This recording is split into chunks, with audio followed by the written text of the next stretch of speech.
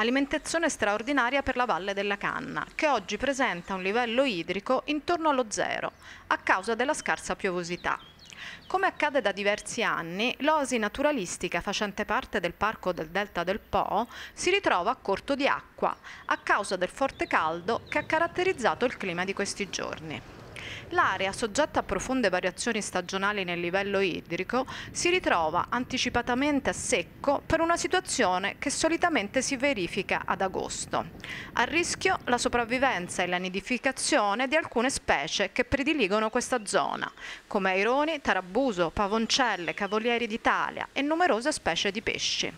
l'assessore Baroncini ha richiesto un intervento urgente di immissione di acqua. Stiamo monitorando con attenzione la situazione, eh, è ovvio che questo periodo così a elevato tasso di siccità crea problemi particolarmente in zone così fragili e, patri e di patrimonio ambientale come è la Valle della Canna. Stiamo eh, attivando tutte le procedure eh, per aprire l'acqua dalla canaletta Exanic che ci consentirà di riportare il livello eh, verso i 10 cm dallo zero attuale, eh, livello che eh,